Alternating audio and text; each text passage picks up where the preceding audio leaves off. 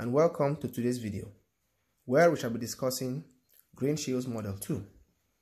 In our last video, we had discussed in detail the Greenshields model where we developed some relationship between speed and density as well as flow and density. In today's video, we shall be solving an example to demonstrate the Greenshields model. Example, given the following data on speed and density, and here's the data given to us. Question says, using the Greenshields model, you should determine A, the free flow speed, B, the jam density, C, the maximum flow rate, also called the capacity, and D, the density corresponding to a speed of 40 km per hour.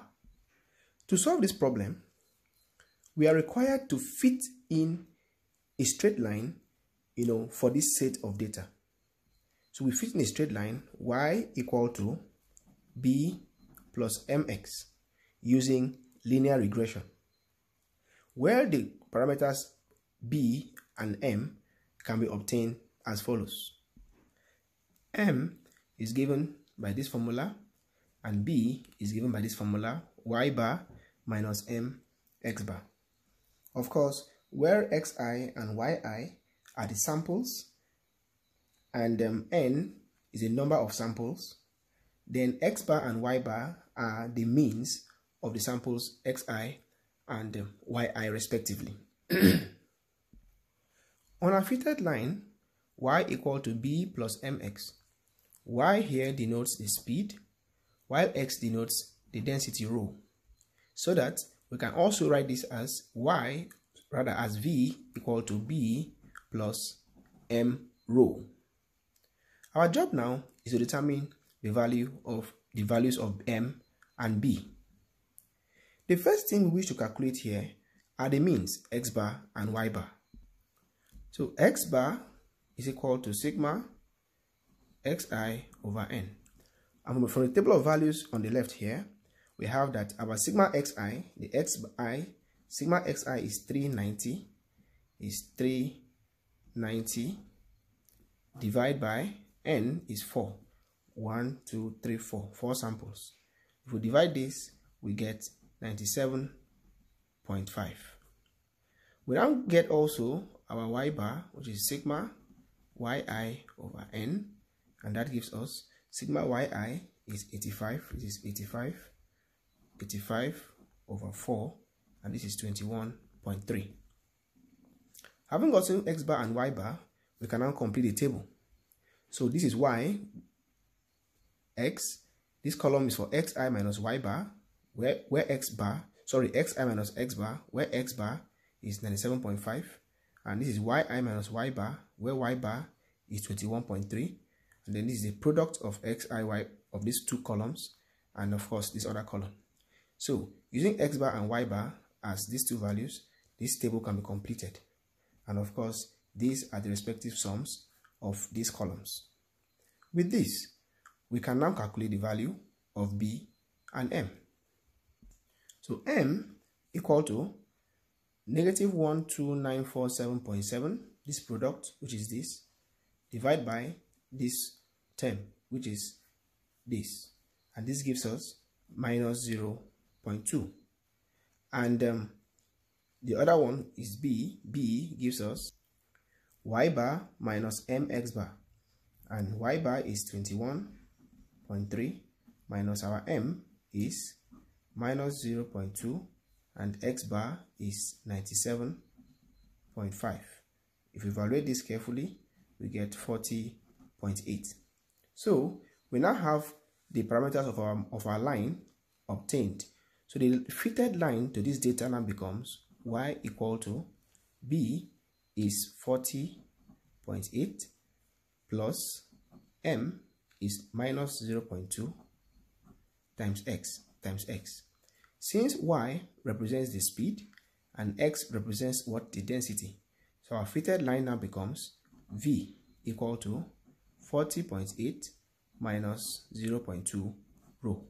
So it is this fitted line now that we shall use to compare with the Greenshields model and answer the questions that follow. So, To answer the questions that follow, we now compare our fitted line, equation 1, with what? The Greenshields model 2, as follows. VF, from here, comparing 1 and 2, VF is equal to what? 40.8. And then comparing this, you see that VF over rho jam is equal to what? 0 0.2. So we've compared 1 and 2 and we have these parameters, you know, obtained. So what's the first question? We are asked to determine the free flow speed. From this comparison of equation 1 and 2, it is obvious that the free flow speed Vf is what? 40.8 kilometer per hour. Ah. B says we should determine the jam density. We have that the free flow speed over the jam density is equal to what? 0.2. So we can make the jam density here the subject of the equation. And if we do that, so we have here Vf over jam density is equal to 0.2. So that if jam density now becomes 204. Since we're talking about density, 204 vehicles per what? Kilometer. The next question says we determine the maximum flow rate, also known as the capacity. In a previous video, we had established a relationship between the maximum flow rate and what? And um, jam density as well as speed. And we said that Q max, maximum flow rate is equal to what? VF times jam density over 4. So that Vf, the free flow speed, which is 40.8, is equal to 40.8 times the jam density, which is what? 204 divided by what? 4.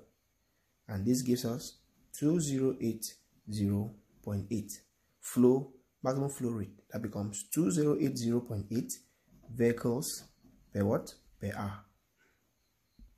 The last question says we should determine the density corresponding to a speed of 40 km per hour. Our fitted line is V equal to 40.8 minus 0.2 times rho. I want to know what the density will be given a speed of 40 km per hour. So we substitute 40 into this linear, you know, fitted line. So we have 40 equal 40.8 minus 0.2 times rho. So if we make rho the subject of the equation, we have that rho is equal to 4. So density there becomes 4 vehicles per kilometer. So this implies that given a speed of 40 kilometer per hour, the density on the road will be 4 vehicles per kilometer. Please don't forget to subscribe and leave a comment on this channel. Thank you.